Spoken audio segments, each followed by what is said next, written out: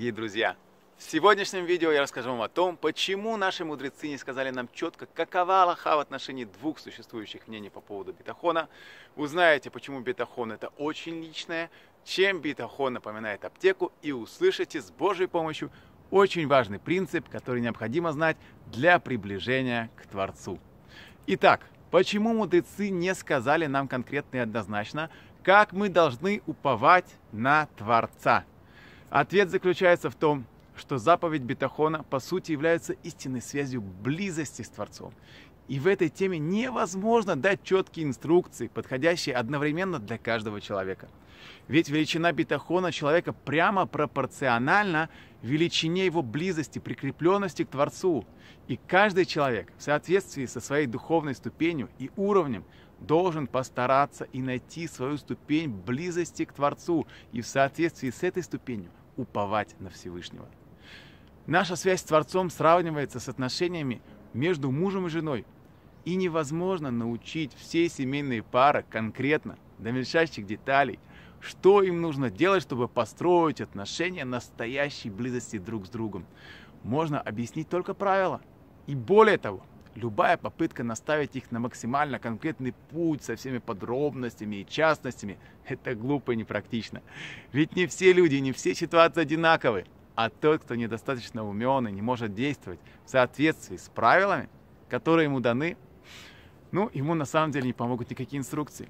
Точно так же, близость каждого человека с Творцом – это не тот аспект, который можно научить всех одновременно в едином виде. Каждый единственный в этом мире. Он единственная невеста Всевышнего. И поэтому нельзя ему в подробностях описать, как себя вести в отношениях близости с Творцом. Настоящая связь с Творцом очень личная, индивидуальная, и каждый из нас должен стараться самостоятельно искать свою личную ступень своей связи и близости с Творцом и улучшать ее день за днем.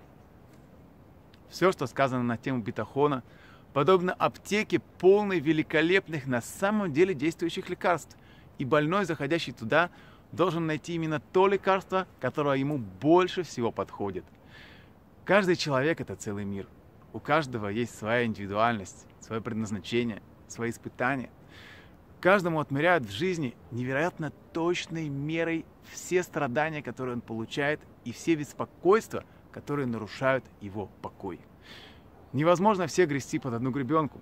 Каждый в соответствии со своим уровнем должен искать тот битахон, который ему подходит. Это близость к Творцу. В близости с Творцом человек находится с ним один на один. Это как хедер и худ, комната, в которой жених и невеста уединяются для интимного разговора сразу после хупы. Итак, дорогие друзья, в этом видео я рассказал вам о том, что отношения бетахона являются очень индивидуальными отношениями между человеком и Всевышним.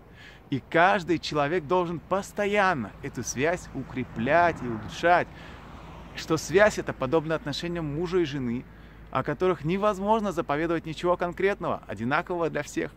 Я рассказал, что в аптеке Бетахона каждый должен сам выбрать лекарство, которое ему больше всего помогает углубить близость с Творцом и достичь душевного спокойствия.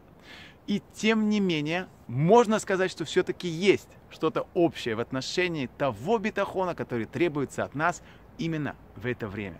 Что именно? Об этом в следующем видео.